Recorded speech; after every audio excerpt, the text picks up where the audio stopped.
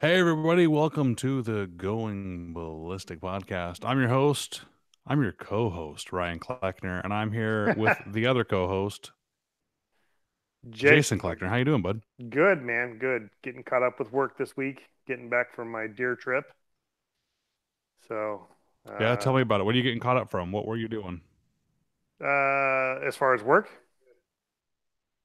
No, wh- where why were you out of town? Oh no, we went on the deer hunt we were talking about, and aha, how'd it go for you? Well, I got a nice little two by two, but it wasn't what I expected. So I lugged around, and I don't know how heavy that gun is. I'm gonna guess 12 pounds. I lugged around that 12 pound gun for three days, all ready for my my long range shot out to 500 yards, and I ended up killing one at like 75. but that's okay. I still got one. So how how far was the shot actually took? I missed it. Uh, 75 yards. Oh, that's funny. Oh well, twelve pounds isn't that bad. It's a good workout for you. People pay a gym membership, and you got to work out for free, dude.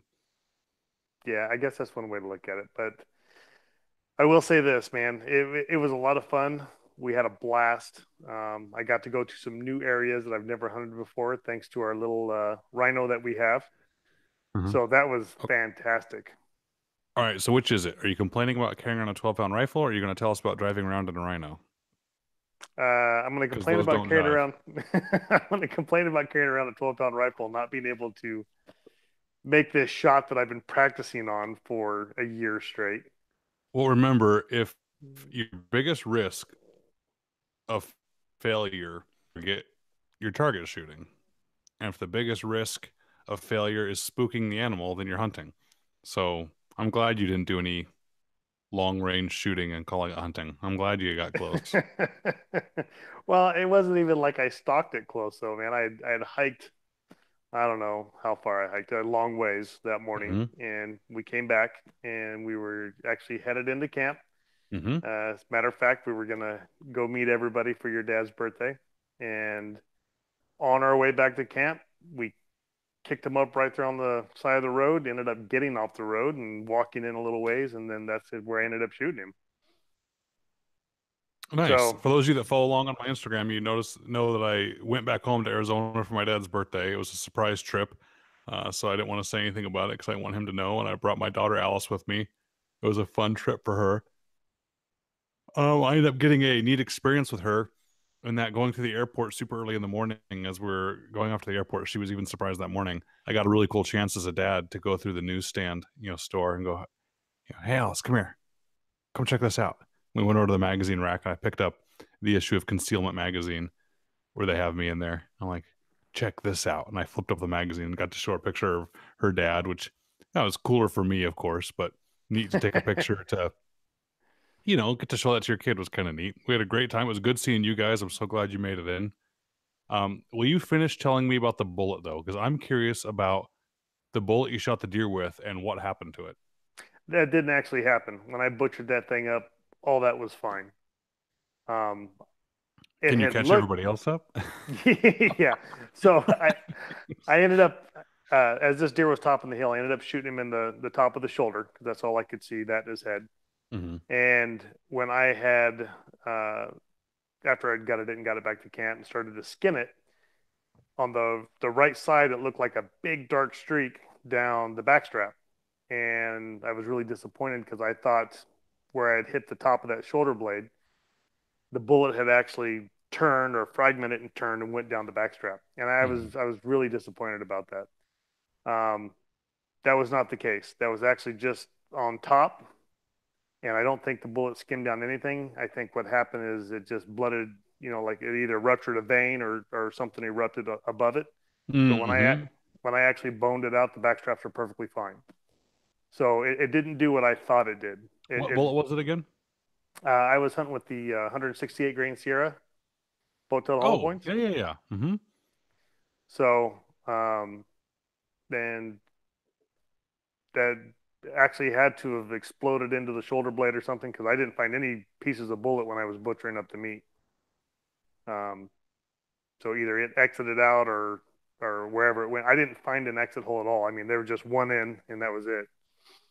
But uh, but no, I was so happy that that backstrap didn't get ruined because it sure looked like it hit and turned and and just you know messed up the top of it. Well, but, good. I'm glad it worked. I mean, for years, I and everyone else seemed to believe that the you know Sierra Match Kings you can't use those for hunting, but you know they perform okay. I, I I'm sorry to be crass, but on 180 pound two leg targets, why wouldn't they do the same on a 200 pound four legged target? You know, right. So uh, it's legal for hunting. It's not a full metal jacket. They actually open up and, and expand pretty well. Uh, and you said you didn't even have an exit, so there you go. You dumped a whole lot of energy into that animal. Oh and, yeah, he dropped you know, right there. Yeah. Well, what more could you ask for? A humane kill, and you got some meat. That's awesome, man. Yeah, yeah, it was awesome. So, and my dad, he was huge help. So we actually got back home. Uh, we boned everything out before we left, mm-hmm. and then of course got home and butchered the whole thing up in I don't know, probably three hours. Got everything vacuum sealed and hamburgered up, and so he was a huge help helping me get that done. All right, Jason, I want you to do something for us. Uh, you can say no, but I want you to prepare for some future episodes, maybe the next one or soon. Talk us through how you quarter things in the field because you have a pretty slick way of doing it. And even when it comes to butchering, would you mind going through like a whole Jason Cleckner how to butcher an animal sure. in your garage? You think you Absolutely. could talk through that? Like, you know, the the tools or best practice? I've never done it. I've yeah. field dressed animals before, but we've always used game processors. As a matter of fact, now I'm so spoiled. Uh, the last couple deer I've got here in Tennessee, they actually, when I went to gut it, I was with a good friend of mine on his property and I got up to the deer and threw my pack down and pulled out my knife and flipped him over. And he goes, What are you doing? I said, I'm going to gut him. He said, Why? I said, well, because it's going to go bad. He's like, Dude, you don't live in the desert anymore. It's not going to go bad in like 30 minutes. It's like, and by the way, the game processor's 20 minutes away. You you pay them an extra 15 bucks or 20 bucks, and the kids do it there for you.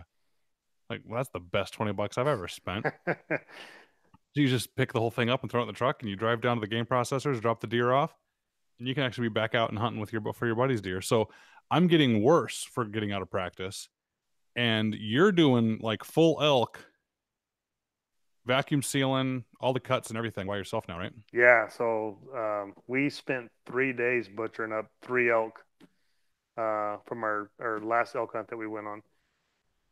So elk elk take a lot longer. It's a lot more meat and yeah. just keeping it cold and everything. But um, so like for deer, especially like in this case, um, you know, I, I, still gutted it and just hiked it out. You know, tied its feet together and, and packed it out to where I could get it to the road and then picked it up with the rhino. Elk, right. on the other hand, um, we don't gut them anymore. We started not doing that a few years ago. I know, and you've explained it to me, and I've seen a YouTube video just quickly on it, but the whole concept of being able to quarter it all there and get all the cuts of meat out without having to take like kind of the main carcass or the guts is kind of cool. Oh, it's amazing. And it's so fast. And it's cool because when when you actually cut up around, you know, like you start with the back legs and mm-hmm. open them up and just follow that, you know, where the crease is right down to the socket, pop the socket with your knife and just cut around the meat and it literally falls off. And you still have the hair and hide to protect the meat. We leave that on. Yeah. While we're carrying it and dragging it around and then skin mm-hmm. it when we get back to camp. You know, and, and, it's the same thing with the fronts. And then you cut the back straps out. And then uh, as far as the tenderloins, you literally make a small incision behind the last rib and you can reach up underneath there and just cut it right off. So the only thing that you're not taking is really the little strips of meat between the ribs, and you can take those if you want to. Um, we typically don't take it, and then of course the neck we take. A lot, some people don't take that either, but we we make a lot of hamburger out of the neck. So that yeah. I usually just haul with the head, and that's probably the heaviest chunk to carry. Sure. Um, but there is and, and the cool... one most likely to get shot carrying.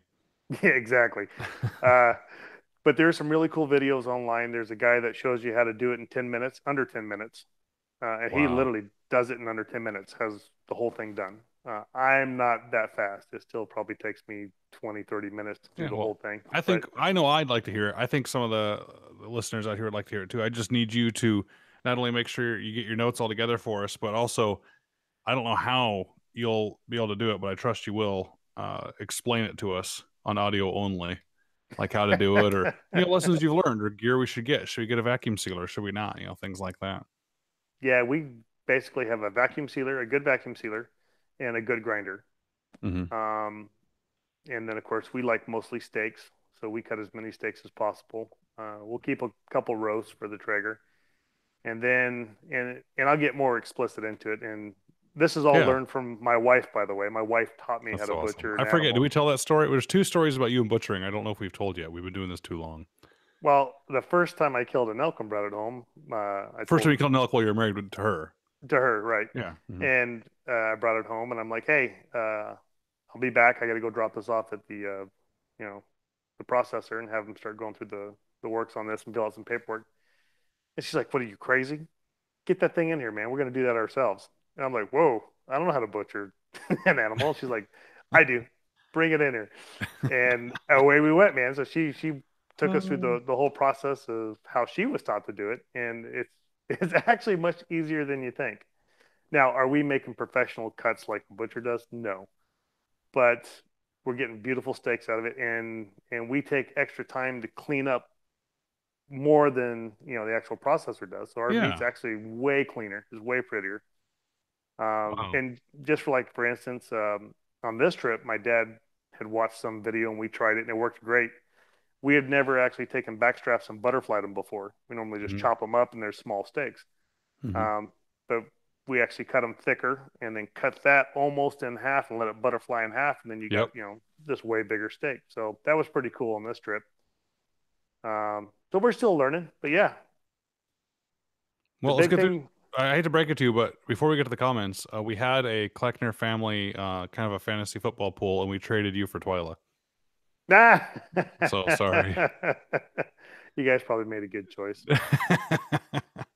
I'm going through some of the comments here, man. Everyone's happy to see us back, guys. We're glad to be back. Sorry we had a couple weeks off. Just life gets in the way. Part of it was the surprise trip to Arizona and Jason out there hunting. Uh, one guy says, uh, "Well, uh, Robert says, hey, mount your rifle on your vehicle like the Rangers do. Always love the sand rails the Rangers had. I never had a sand rail, Robert. Uh, we had vehicle problems when we were over there, though. We had the RSOVs, the Ranger special operation vehicles didn't work right. So we tried out some Humvees and they didn't work right. So we bought a bunch of Toyota Hiluxes, brand new. Those things were awesome. So everyone got back and bought a Tacoma when they got back stateside because how great they were. And we had some quads and dirt bikes and stuff like that. But uh, Tyler and Mr. Nice Knife and Paris George and Rick and Redleg and Steve, hey, everybody. Mr. Nice Knife says, What do I think of a short 16 and a half inch 6.5 Creed bolt gun? Well, I love short barrels as a general rule on rifles because a, a long barrel does not make more accuracy, right? A short barrel is relatively easier to maneuver in and out of a vehicle or through the woods whatever you're doing with it. However, the reason I like 6.5 more is because of its ballistic performance. And getting too short of a barrel, you start to lose that performance because the performance comes with the velocity, kind of like 223 or 556. You're getting a short barreled 223. Someone wants an eight inch barreled 223 for an AR 15. Cool. I mean, it's maneuverable. And I just said that it's not going to be any more or less accurate necessarily. That's yeah, kind of true too. But the whole thing the 223 or 556 has going for is its velocity. Same thing with 6.5 Creedmoor. And you get that short of a barrel, you start getting a big fireball and you're wasting a lot of energy. So I probably wouldn't like to go shorter than 20, 20 inches on a 6.5 Creedmoor. I mean, if you wanted one, do it. I was not saying I would give up the gun if I had one, but much better with a short barrel than a 6.5 Creedmoor does. Red Leg asks if I shoulder fired the punt gun for YouTube. If you follow me on Instagram or on Facebook, you've seen a couple pictures of me with an obnoxiously big shotgun. Did you get to see those, Jason? I did. Those are awesome. uh, it's not even that big of a gun. I'm just really, really tiny. Um, that's not a real gun, guys. That was a prop. That was fake, and that's why we're out there just playing around with it. That was not real punt gun. So sorry to let you guys down. I'm glad everyone else is on here. Blind Rodent says the bearded butchers have some good videos on butchering deer. Awesome. We'll check it out. Chris, we've missed you too, man. Blind Rodent also wants to know, Jason, have you tried sous vide yet? No, you know, I haven't been able to talk my wife into it, and she she has to be on board before I make the purchase. So I, have explained it to her. I showed the videos, and dude, I knew we made a good choice picking her. Yeah, well, she hasn't she hasn't bought one yet, nor well, she said, it, "Yeah, I'm Christmas interested." Well, now April and I know what to get you guys. so, all right, hey Anthony. Uh, Jared says he's going to build a six five Creedmoor to use for hunting and precision rifle matches. With the intro of the 6.5 PRC and the 300 PRC, should you wait and build one of those or stick with 6.5 Creedmoor? Great question, Jared. Uh, you're not going to like the answer, but it depends. So before I get into it, Jason, what do you think? Should he go to the 6.5 PRC or the 300 PRC, or should he stick with the 6.5 Creedmoor? What do you think? Well, I haven't shot any of those, but just based on how popular the 6.5 Creedmoor is, I'd go with the 6.5 Creedmoor. Yeah, strictly on popularity. I think the 6.5 PRC was a mistake. I think the 6.5 Creedmoor is so popular already, and it's a short action, so it just makes a lot of sense. Now, maybe if the 6.5 PRC came out first or came out at the same time, it may have taken off better. It clearly is better performance on paper, but I just don't see the need for it. I actually think it's that falls into the category of what I think most uh gee whiz new cartridges falls into which is yeah wow it beats by this many percentage points you know this specification on paper. Awesome. Don't know if it's enough to change over to. Now the 300 prc is that exception to the rule. I think that thing is awesome. If you guys follow me also on other social media you'll see i got a bunch of ammo from hornady. So hornady's awesome for helping taking care of me. They're making sure that on the elk hunt and i'm going on soon. Be taking 300 prc with me and seeing how it performs uh, those guys are neat. Not only do they know how to get a caliber out and design one, they know how to fill the market with it, and they know how to take care of people just by saying, "Yeah, dude, we'll send you some. Go try it out. Let us know what you think." And they actually want to know what I think. So that that's just really neat. Great people. Can't say enough about them. Uh, and that 300 PRC is awesome. I think they made a mistake on that one though. I wish they called it the 300 Creedmoor or the 7.5 Creedmoor or 7.6 Creedmoor, something like that, because it's so much closer to the Creedmoor in overall design. It's just the Creedmoor's big brother. Um, and I hope that the PRC name doesn't stick it too close to that 6.5 PRC. So uh, people asking, would a short 6.5 still outperform a short 308? Uh, what do you mean by outperform? I don't know. If you get too short and you don't have the velocity, then no, a, a smaller bullet. So guys, remember energy equation here, and that's why I said it be, depends on what you mean by outperform if you're trying to actually hit a target with some energy, it may not. So in the energy calculation, you have velocity and mass. You can either increase both, increase one, or increase the other. And so the idea with 6.5 Creedmoor is you're getting a lighter bullet, so you have less mass, but you're picking up velocity, so therefore you can end up with more energy at a distance.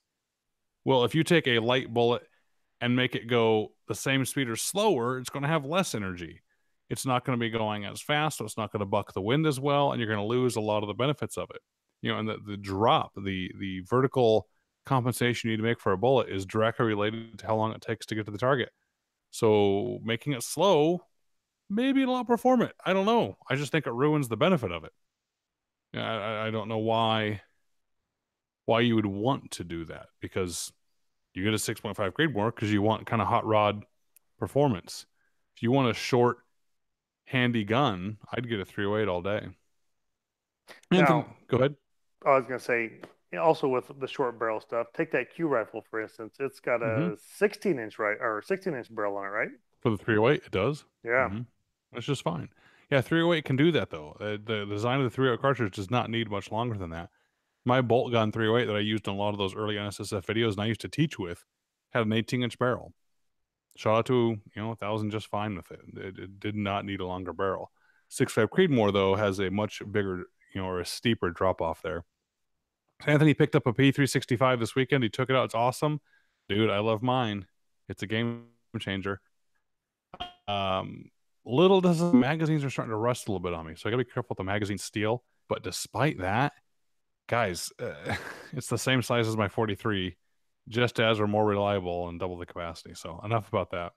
Uh, Tyler says, bought a Remington 765 Creedmoor with a Vortex PST thanks to us. Awesome, man. I hope you enjoy it. Uh, how do we feel about running a sunshade on your scope? Well, if you need it, put it on there. There's nothing wrong with it, and I've been in multiple instances where I've needed it. So yes, do it. matter of fact, uh, we're somewhere where we took uh, the ammo box and put it over the scope we were shooting from one hillside to the other hillside. The sun was in our eyes so much that you actually could not see the target. So we took the cardboard ammo box and opened up both ends and slid it over the end of the scope and looked through that to make a sunshade, you know, that was to, to help us be able to see. So yeah, sometimes we really need. Rick's doing sous vide. That's awesome. Uh, Red Leg wants to know if I think so. Uh, I know they will because I've seen the order. So there has been a unit in SOCOM that has already placed the order for the guns and 300 PRC. And matter of fact, uh, I was out. One of those guns that you see in my photos of shooting the 300 PRC is one of those guns. And maybe I even took a picture of their ammo. So yeah, they they actually have already adopted it even before Hornady announced it. So that's how much the 300 PRC is awesome. Um, Paris says maybe others. You're right. May is the, the word. Uh, someone's considering assigning for Rocket FFL. Do I recommend getting product liability insurance? Sure. That's completely your choice, though. I don't want to ever be on record saying yes or no. You feel that you want insurance, get insurance. It's not a bad idea. Um, and Dave asked, what's the difference between the 260 Remington and the 6.5 Creedmoor? Well, 260 Remington's got a little bit more case capacity, so you can actually get a faster bullet out of it. It can actually outperform the 6.5 Creedmoor, believe it or not. The 6.5 Creedmoor, though, can allow for a little bit longer bullets because the case is slightly shorter, so the bullet can stick out a little further, even though it's got less capacity. And a lot of people used to say, me included, if you're going to hand load, go 260 because you can get more performance. And if you're going to buy factory, go 6.5 Creedmoor. But now the 6.5 Creedmoor is just so far and beyond taken off. There's absolutely no reason to get the 260 Remington. If you've got one already, keep it, enjoy it, shoot the heck out of it. But if you're going new, uh, the 260 Remington's dead. 651. You know, I was going to throw in too uh, from the deer hunt. I have to give a shout out to Leupold. Um, those guys were awesome to me. So my rangefinder on the deer hunt. Okay, I didn't which, hear about this. Talk to me. Oh yeah, yeah. So my my rangefinder, which is a Leupold 1200. Somehow, when I was hiking and dragging through bushes and stuff, uh, even though I it's on my belt, and I don't know how it did it, but the battery cap somehow unscrewed and flipped off that thing. Okay. And rendered it useless, right? So the battery cap connects the back of the battery and allows it to power up. Yep, yep. So I searched everywhere, searched in my bag, it's gone. Uh, to finish out the hunt, I ended up taking a beer tab and breaking it in half to mm-hmm. the size of the battery, packing some cardboard over it, and threw a zip tie over it, and used that to make the connection to finish the hunt. Dude, I can so tell we're related. I'm gonna wait. so, anyway, I get back and I start looking online. Of course, I can't find a replacement cap, so I I send an email off to Leupold, Hey, I need to purchase a new battery cap for my rangefinder, and mm-hmm. you know, this this is what I think happened. And could you please let me know how much, and and we'll get this going. And this was late at night on a Friday. I didn't expect to hear back till Monday. Dude, it wasn't 15 minutes, and I got a response back. Not a problem. It's in the mail. You'll have it shortly. Wow. Yeah. So I emailed him back. I'm like, I'm happy to pay for it, man. I said, but I can't believe you responded this fast this late at night.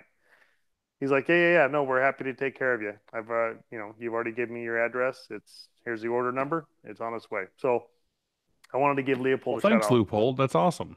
Yeah, that is fantastic. That is awesome. Well, and cool, I know man. You're, so, I know you're a Leupold guy, so I thought I'd throw that in there. Oh yeah, yeah, they're good scopes. I think I'm probably maybe more of a Vortex guy now, but I'm torn between the two. So I have equal equal Leupold and Vortex. Great, great, great companies. Uh, so the the you fixing field expedient fixing of it. Uh, one time was my first time to Afghanistan. I was using a uh, Brunton Optimus multi fuel stove, little backpacker stove. Yep. For cooking our food and stuff. Uh, and I missed. I lost the little uh, curved piece of metal that deflected the jet. That actually made the jet come out. The little piece snapped off, so you ended up just with a straight like um, lighter flame. It wouldn't actually turn the jet would work at all. But I found a quarter in my pocket from it was in my pocket from as we flew over there. So I took the quarter and rocks and beat the hell out of the quarter and made it a concave dish shape enough to fit and made the stove work just fine and took pictures and sent it back to Brunton. I'm like, hey, thanks for that.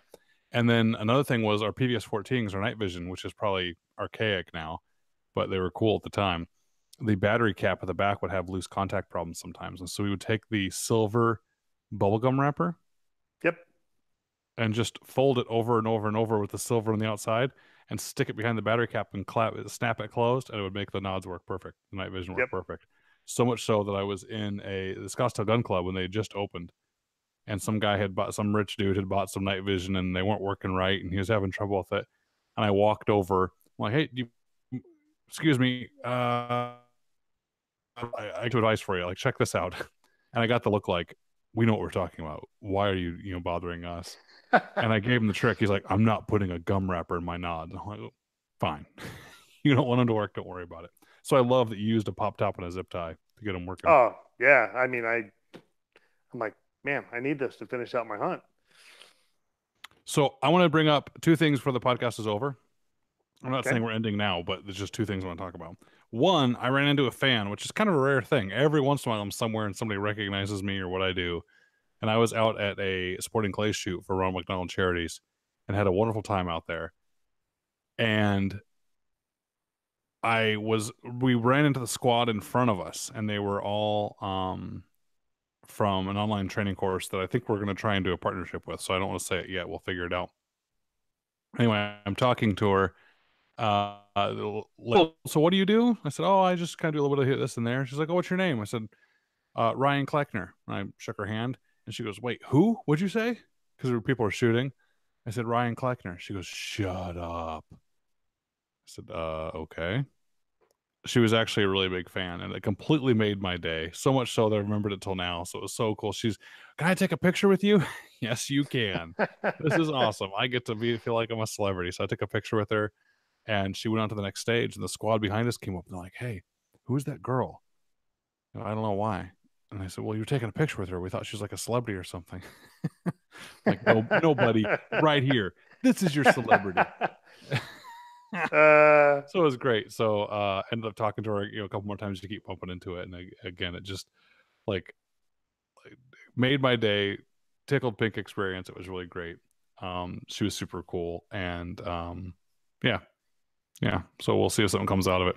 So that was one thing to bring up. The other is I came up with and found the absolute stupidest product I've ever seen. So, real quick, uh, Vanessa was her name. So, Vanessa, if you're listening, awesome. Thanks for coming and saying hi, and thanks for geeking out. It was pretty cool. Um, so the stupidest product I've seen in the firearms industry. It is the safety bullet. Have you seen this thing, Jason? The safety bullet? Yes, like safe T bullet. No. Okay. So I'm going to look right now. Oh. So not only is this the stupidest, most unsafe product I've ever seen in the firearms industry that I can think of, I might think of something else that I can think of right now. Uh, apparently, the guy that does it just likes to bully people around in the firearms industry that have the opinion I do. People say things like, uh, "Dude, that's a bad idea," and he just, uh, from every story I've heard, does not handle that well and decides to argue and and get mad at people. So I don't know what that's going to solve. Anthony Hansen says that jams your slide. Yes, that's exactly the one. So what it is, Jason? Everyone listening, it is a it is a cartridge that has a Delrin plastic bullet. I'm going to use quote fingers bullet. I'm looking at it. Doesn't actually leave the case, so it's locked in the case. And instead, when you fire it, it hits the primer. It's a live primer, and it shoots like a needle through the Delrin plastic bullet and allows the Delrin plastic bullet that is already cut and segmented to expand. So as the needle gets pushed through like a nail, it expands the outsides of the bullet and wedges it so tightly into your chamber or into your barrel that you then cannot move the slide back on the pistol because the uh, assuming the extractor doesn't you know slip over the base of the brass there. So what it does is it makes your firearm inert, inoperable, useless, makes it a paperweight. So apparently the concept is you store one in your gun when it's around your house. So in case a kid gets it and picks it up and pulls the trigger, not only do they not hurt anybody, they've now rendered the gun useless so they can't fix it and then hurt somebody. So, do you see any problems with this? Uh, other than if I really needed it and it was there, I wouldn't be able to use my gun. Yes. So, one is how do you know that someone that wasn't supposed to mess with your gun messed with it when you weren't there? Right. right. And goes, pow, oops, that didn't work, and they put the gun back. So, problem number one is you have no idea if someone has already done that to your gun. So, eh, the other problem is eh, like what Anthony's are saying, yeah, what if they rack the slide first? Well, great question, Anthony. Apparently, the manufacturer recommends that you buy two safety bullets and you put one in the chamber and one at the top of the magazine. So, in case they rack the slide first, what they end up doing is putting another safety bullet in the chamber. So, haha, you fooled them.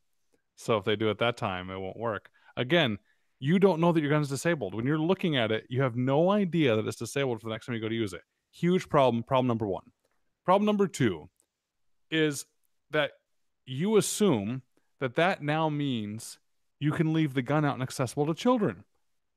That falls into the biggest problem I have with gun safety, which is the oh, don't worry, it's not loaded argument.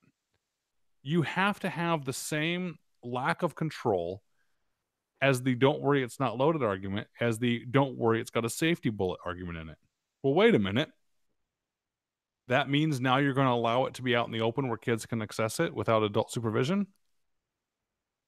that means you're going to point people safety rules you're going to break all just because it has a quote a safety bullet in it or quote because it's unloaded. That's another problem i have with it is somehow that you can now handle the gun or treat the gun in a way that you normally wouldn't treat the gun. I got a huge problem with that. You treat the gun the same every time. You always treat the gun like it's loaded. So that problem that drives me nuts right there.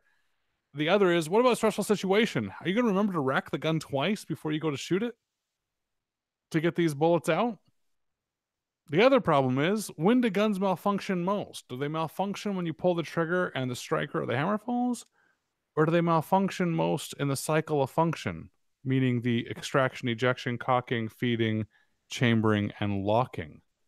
Now, uh, the latter. So you literally are doing to the gun the entire cycle of operations that's most likely to cause a malfunction twice before you even use the cartridge. I just don't get it. And they're saying there's no way a live round could shove in behind that and then fire and possibly blow up the gun. Correct, because it's filling the chamber, so the bullet doesn't leave. So the case and the bullet all stay together. Oh, I got you. Okay. So it's done. You can't get the slide back because the cartridge case is there. Now they set they send a special tool that helps you get it undone, which is a rod that goes down the front of the barrel and just pushes that needle back in so the petals the bullet collapse Uh, quote unquote bullets then it can be extracted and be used. But the problem is i've seen videos of guys just taking it and jamming it on the table and it extracts itself anyway. It's strong enough to pull out because it's only the friction of the delver in there. The other is the special tool is the same as a pencil. So i just I, And this guy gets apparently, apparently, really upset when you go, no, that's kind of an unsafe idea. You're now not only have no idea that someone may have done this to your gun when you weren't looking, and most people that have a bedside gun don't touch it for a year at least, and it could be disabled this entire time. Uh, I'll skip to number three in the order we did them. You'll forget that it's there and pick up the gun in a stressful situation and pull the trigger and now completely disable your gun because right. now you can't even cycle it and fix it. Your gun's done. You were out of the fight or you're going to forget to rack it twice, or by racking it twice, you now just made it most likely to malfunction instead of just being able to shoot a bad guy. And then my biggest one is you're now going to treat the gun different. And he can't say that's not true, or else there'd be no reason for the product. You clearly are going to treat the gun different, or else you'd have it locked up. So when he says, we have it in there in case a kid gets a hold on it, well, you should have it locked up so a kid can't get access to it. Correct. The only reason you'd have this thing at all is that you're going to say, don't worry, it's got a safe T bullet in it and put it in there. So no, it is not a joke. It it just boggles my mind that this product is out there. Uh, please, everybody, do not rely on the safety bullet. Uh, kids should never be able to access your firearms unsupervised by an adult. Have them locked up. The fact that they're unloaded or that you think the kid doesn't know where they are or that it's got a safety bullet in it, which literally makes your gun not work, it's crazy. I mean, I don't put sugar in my gas tank every night in case someone steals my truck.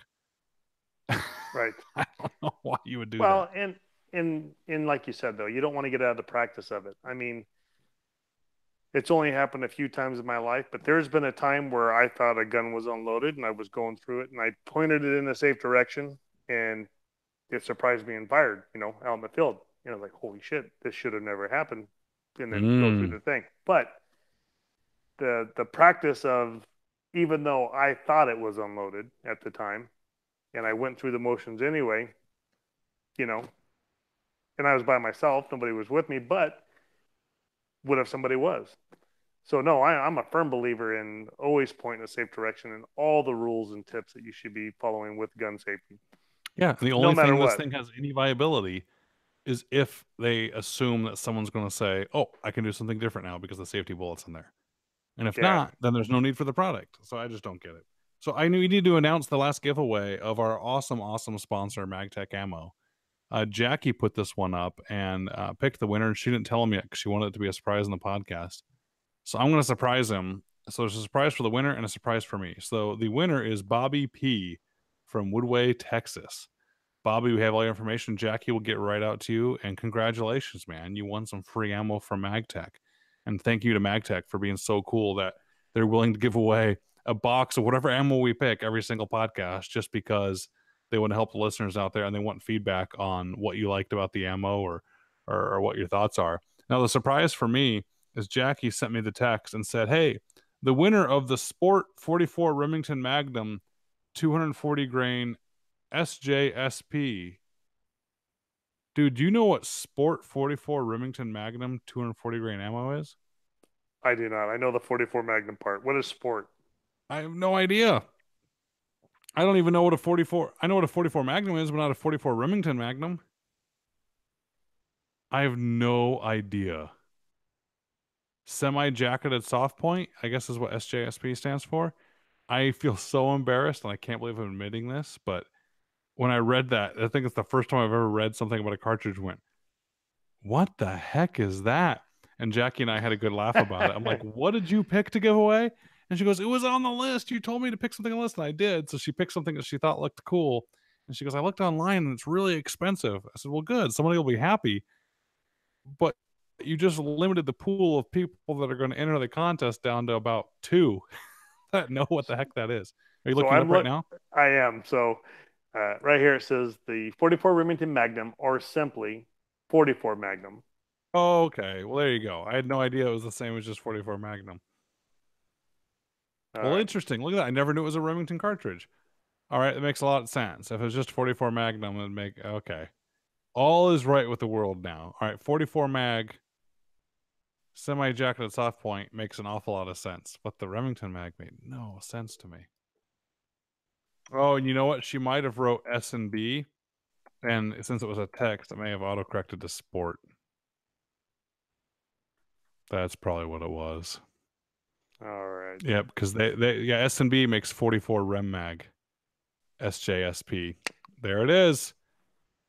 Mystery solved. All right.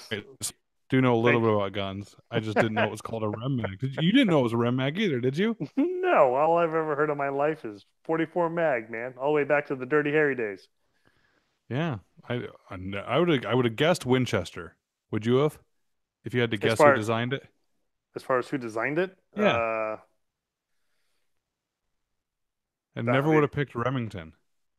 Yeah, I mean the only 44 Remington Max doesn't make a Remington doesn't make a 44 Magnum revolver. Yeah, you think you'd be either Smith and Wesson or Colt or, you know, or Winchester Ruger or one yeah. of those guys. Yeah. yeah. But apparently Remington developed that cartridge. Pretty cool. Well, that would be like the 7 mag, right? That's a Remington cartridge. Yes, but they make rifles. Yeah, but I mean, you don't know. That it. Makes I sense. don't know it as a seven millimeter Remington mag. I know it as a seven mag. Oh, you don't? That's funny. So I know that one's a seven millimeter Remington Magnum and a 300 Win Mag. So the 300 Win Mag and the seven millimeter Remington Mag were the two kind of competing with each other. They came out at the same time, and they were like the two offerings people were trying to do.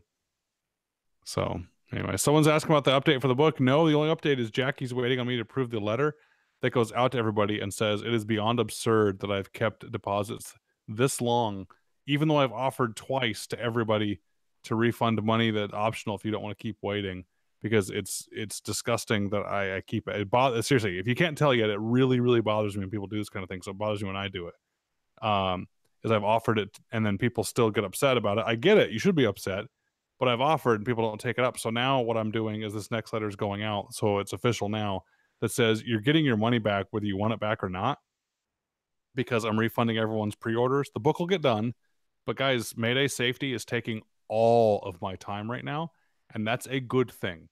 Uh, we're trying to save kids' lives. We're li- like, if all the things that I've gotten my name out there for, uh, I'm I'm hoping that Mayday Safety is my legacy, not because I want to be famous with it, but because that's how important I think it is.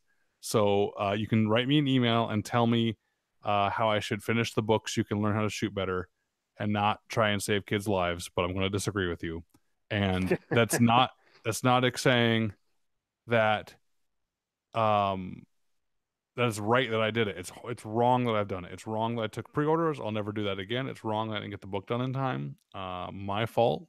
It's still a lot of cool things I'm developing in there and coming up with even new things that I I have. I'm actually have one thing I need to figure out how to name it because it's a new theory I've kind of figured out here on ballistic coefficients, uh, or I think I have anyway. So the letter's going out to everyone that says you're getting a refund. You are getting off the list of pre-orders, and if you do not confirm your address, I'm sending the check to the last address I got. Or I'll donate it if you don't want the check back. But either way, I'm going to cross you off my list as no longer having any pre orders just because I feel bad. Um, and it's not right to you guys. So there's the update on it. Sorry, guys. Drew says he picked up three of the kids' books on Amazon to donate to his daughter's school. Awesome, man. I appreciate you doing that. He says it had the old title on it. Well, we need to check that out. Drew, will you please send me an email?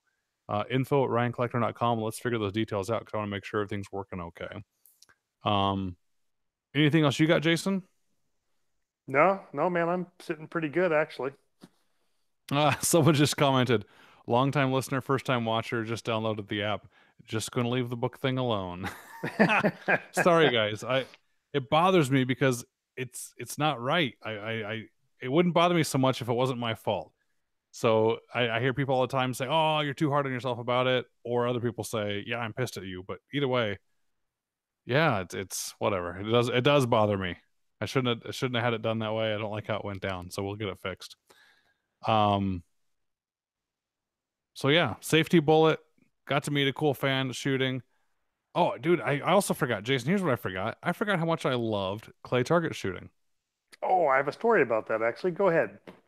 Well, I just I think it had been three years since I took my over and under out of the safe. That's since I've been time. in Tennessee. I'm like, it's been three years, and I used to shoot clay targets, you know, for moving to Connecticut once a week probably, and it was I wasn't as bad as I thought I was going to be. It was actually good taking three years off because a lot of the problem with shooting clays, I think, is getting in your head too much. So it was nice to not be in my head too much and just have some fun. But dude, I'm so excited. I've already sent the email to the gun club that I'm getting a corporate membership just so I can have my company on there so I can go down and shoot a lot more. Because, dude, I love the rifle range, obviously, and the pistol range, but something about going and shooting clays, especially like sporting clays or just around a trap or skeet real quick, is just something about it is so much more fun of an experience. Oh, it is. Than just going to the range and just shooting rifles and okay, we're done. So it was fun. Paris asked what my over and under is. It is a Beretta Silver Pigeon 2. That's what I shoot. I forgot to. So, what's your story, Jason? Well, back to my hunting trip. I, I meant to tell you about the highlights. Um, so we took the pellet rifle with us. Okay. And we found some clay pigeons laying around, and we set these things up on a berm at hundred yards. And we're hitting clay pigeons at hundred yards after figuring out the wind and everything with the pellet. it was a blast. Bull crap. I am not kidding you. It took me I could do it within 10 shots. I couldn't do it the first shot. I mean, it was kind of too sporadic, and Jared would call it out, you know, just above it, a little bit left. All right, I might believe that. That sounds cool. It was a blast, but even now, the, I mean, it broke it obviously, but there was enough pieces. Oh yeah, no, it usually just either knock a piece off or knock the center out of it. Um, I mean, you can certainly see that you hit it. That's pretty cool, dude. So I'm having blast. fun with the air rifles. Is as I think I told you guys. Uh, yes, I told you. I'm down coaching the 4-H air rifle team now. So if you guys that have been begging me for courses, uh, just disguise yourself as a high school student and go join 4-H. Because I realized I was talking to them, you know, last time. I was just having so much fun. I'm having them call their shots. I'm having the other students that aren't shooting being coaches so they're back there talking. I'm like, uh uh-uh, uh stop, get up here. Everyone get next to a shooter and get like your eyeballs next to their hand and watch what they're doing. Don't look at the target and coach them. And at the end, I want you to tell them something they're doing good and something they need to improve on. And I'll see like, you know, horrible trigger control from a couple people away. And I'll walk up to the coach. I go, hey, coach, watch that trigger control the next few shots. And I want you to describe to me what you're seeing. like, okay. And they get done, they describe it to me. I'm like, all right, did you see that? Why was that was bad or why that was good? Dude, I'm having so much fun because these kids are just absorbing it all. And they're phenomenally better shooters in a few weeks. All their groups have really shrunk down. They're really understanding what's going on. They're understanding natural point of aim. They're calling their shots. They're getting good trigger control. And I'm so happy that they get done on the line and they go to walk down and check the targets. And I'll run in front and I'll go, stop. What did you call? What did you call? And I'll go down the whole line and go, all right, let's go see if those matched. And then instead of just like drilling through it and being done like I think they used to do before, I'm bringing them all the way down to the first target. And as a group, we're walking from target to target and analyzing what we can do better. And uh, they seem to be loving it. We're taking a lot longer because we're really getting the nitty gritty of shooting. And I can see now that some of the adults, some of the parents are really liking it. They're leaning forward and the dads are starting to listen and people are getting involved. And That's I awesome. laughed about it because, yeah, because people are asking about courses. I'm like, here I am giving free courses away on a weekly basis to these kids, which I'm glad to do. Um, so there you go. If you, you live in Williamson County, Tennessee, you can uh, you can get your kid into 4-H, and you I, I can be your kid's coach uh, once a week for a year. So I, I'm so excited to see how good they get at the end of the year because the kids are really paying attention so far, and it's only been a few weeks and they're getting a lot better. So that's cool. Yeah, and then I have to give a shout out to my dad too because then we started a new hunting game. Okay. We were breaking. Did it, did it involve frisbee golf? Nope, no frisbee golf. That wouldn't have been fair to nobody. So. so that's serious in our family. Real quick, sorry, Jason, in case no one knows, it's very serious. and I'm out there zinging a frisbee in my front yard like last week for the dogs. And one of my kids is like, "How do you get it to fly straight?" I'm like, "Well, I need to teach you." And I got all into it. And April just rolled her eyes. She's like, "Oh my god, Cleckners are so proud about being able to throw a frisbee." all right, so tell me, what's the new game? so we started this game on the hunting trip.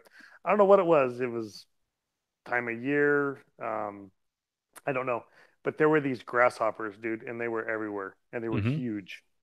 They didn't even. Yeah, the ones that if you sneak up behind, you can pick them up while they kick you. Yeah, they sound like a Harley Davidson when they jump. I mean, they, yeah. they're they're well, we used massive. to see those out at Mormon Lake. Those real yeah. big ones, right? Yeah. yeah. So they're they're everywhere right now. Uh-huh. So of course, we got bored with the clay pigeons. So now we have grasshoppers walking out in front of us, right? So I'm like, ah, new targets, guys. well, the thing is, at 30 to 40 yards through my BB gun, it looks just like everything else. I mean, it looks like all the rocks. I mean, you it doesn't zoom in yeah, enough. Yeah. So we're sitting there trying to explain to each other through binoculars where it's at and where it's moving. Pretty, pretty soon you can see it moving, right? Mm-hmm. Dude, my dad kicked our rear ends at shooting grasshoppers. Really? He was a dead eye man. He he couldn't miss. Yeah. It was, it was kind of a slap slap in the butt. dads have the same thing. Well, even when I came back from the military and I was probably the best rifle shooter I'm ever going to be from all the training, my dad and I did something, you know, just the father son thing you know, he thinks he knows better than me. I'm like, no, trust me, I know better than you now how to shoot a rifle. And I think he handily outshot me. Just frustrates. Yeah. Your eyes should be worse than me. You don't know what you're talking about. and you can still shoot better than me. It's it's kind of like old man strength. It's old man shooting ability. It's great. Good news is we're getting to be old men now, so that means we're now. That's right. And to Robert, no, no, these aren't locusts. We have those two here. But, no, these uh, are grasshoppers. These are these are grasshoppers grasshoppers. You can actually grab them by their back wings. They have the giant legs. You can actually yeah. see the little like spikes on the back of their legs, and they'll kick the snot out of you. But you can pick them up and grab them. I'd say bodies about the size of my pinky are bigger. Yeah. Yeah, they're they're they're big things. Yeah. Yeah, maybe they are locusts. I don't know, but we always call them grasshoppers, and they only come a certain time of year out there. And you got that horny toad out there. I put pictures up there on Instagram, so thanks for sharing the pictures of that. People thought that was kind of oh, cool. Yeah, I've never seen one that color ever. I've only seen brown ones. So did you guys ever pose with a grasshopper that you shot? Did you ever see me pose with that uh, groundhog that I got? I did. I did. that was like awesome a year or two you... ago. I put it way. I put it like 15 feet in front of me. So it looked so like it, it was like, as big as you. Yeah, it looked like a bear sitting in front of me. Please tell me you guys did that with a grasshopper. No, we weren't smart enough to do that. I wish we would have because it was awesome. And like I said, it was great for dad because dad, I finally told him, I said, dude, either you are getting super lucky because I am all around this thing and can't hit it for some reason. And here he is just knocking them down left and right. Yeah, man. They, they had to learn to shoot without all this technological advances now, and people are shooting further and better than ever before. That's not because we're better shooters. It's because we have better technology and better equipment and better manufacturing. You know, guys in Civil War rifles were making better shots than we are making today. So there's something to be said about having to learn the fundamentals the old way. You know, it's like we talked about reading map and compass before, before there's GPS. Right. You, know, you and I are jumping to ballistic calculators now, or using scopes and things like that. So it's super cool that uh that they're doing that. You know what else is a fun target for like pellet guns or 22s is butter packets. You ever do that? No. So, uh, the little, you know, butter packets like at a old fashioned restaurant or cafeteria, they come in the like the paper wrapper. Yep. Almost like a little miniature thin mint. You know what I'm talking about? I know exactly what you're talking about. Those those are fun to shoot. So you put those out there really far with the 22, and you hit them, they turn to snow because the impact of that bullet hitting it just vaporizes it, and it's a, a, mist, and you can see like snow sprinkle down after you hit them. And there's a loud thwack when it hits the paper. So with a pellet gun, you can do them too. You put them out there far enough, it's kind of like a little mini tannerite target out of out of butter for shooting paper. So it's a really good thing to do. So that's pretty cool. Yeah, that's I'll never forget tannerite. My first experience with tannerite with you and my wife and her so excited swinging around. Yeah, do you remember that? In The, no, you trip? reminded me before, but that's funny. yeah, we, we were shooting it, and I think uh, Uncle Bobby was a little worried about what we were blowing up out in the woods, wasn't he? Yeah, I think he told us we finally had to go further down the road. and we told him we've got the tannerite. so ringing iron said saw an article about shooting flying insects with smoothbore 22 is yeah I, have mentioned that before doing it i actually made some people mad uh, i had two letters uh, one email and two letters written to me about how uh, bees are important to our environment and i shouldn't be shooting bees and they're right. They're absolutely right. We have a serious bee problem. So much so that my wife wants to get beehives and start raising bees on our property just because it's kind of like epidemic level. We got a problem with bees. But carpenter bees, I know they're good pollinators, but they're destroying my house. I don't want them destroying my house. so I think I'm doing them a favor. When I kill the ones that destroy my house, I'm getting them out of the gene pool. So I'm only letting the ones that don't want to destroy houses survive. So in the long run, I think I'm going to let more bees live. so sorry about that, everybody. Yes, it's definitely a thing. Lots of people do it. Maybe we shouldn't, but I, I appreciate you guys care enough and listen enough to write in and, and listen. So uh, maybe I don't want to say the dates when I'm going, but we're going pretty soon for that uh, New Mexico hunt. Yes. That 300 uh, PRC is going to be awesome. I can't wait to find and smack an elk with it. And I think Jason's going to be using a Q rifle in 308. And guys, you're awesome. Thanks for listening. Support our sponsors. Uh, they are my products, which are Mayday Safety, which man we can't keep up with. Just got back from a private schools conference talking about that, and you know, police departments and jurisdictions and schools and businesses are all taking Mayday Safety to help manage the safety and you know crowdsource emergency alerts and communication. We think that's awesome. So keep spreading the word, please. And one of the things I need most good feedback on the app stores. Go download it, use it for free with your family, and then give us some love back. That really, really helps. Think about getting your FFL, go check out Rocket FFL. Uh, that thing's still booming, and I love it. We're actually putting more courses up there right now. I've I've uh, I've prioritized the rest of the FFL courses in front of the second book because they'll be easier to get finished and get done. So it's just one of those uh, business decisions. So get in there and get your FFL going so you can get the more courses after that. People love it. Uh, many, many, many people make it through the course and just love the idea that they're actually getting video training by someone who's done it many times before and who's been through hundreds of inspections. Uh, where there's other people out there doing the courses that may have a lot of years experience selling the course guides, but they even admit that they've never even been through an inspection themselves. So support Rocket FFL. I'd appreciate it. And then MagTech Ammo guys, MagTech and SNB and CBC. We've been honest about it. We've told you the good and bad about our experiences with it. There's some products that I would probably grab MagTech first over anything else for certain purposes, especially you know plinking nine mil ammo. Guys, I'm going for the MagTech. The stuff's amazing. Go yep. look at Viking Tactics Instagram page, Kyle Lamb's Instagram page, and look at a picture of me with that little P365 there's a 10 yard group of 10 rounds that are like this. This should be like ultra match ammo out of a match rifle and or, or a match handgun. No, it was Magtech 9 mil. The stuff's amazing. Jason's done some clean tests with it. Go, go check it out. And then there's other stuff that he's been honest about. Being, hey, we tried some of the 308 that for the match. It didn't work as good for him. The 223 does. Hopefully, that means you guys can still trust our opinions. And we appreciate their support and we appreciate the support you guys give. Jason, do you have anything else you'd like to tell anybody? No, I'm sure I have a million other things to say, but it's late.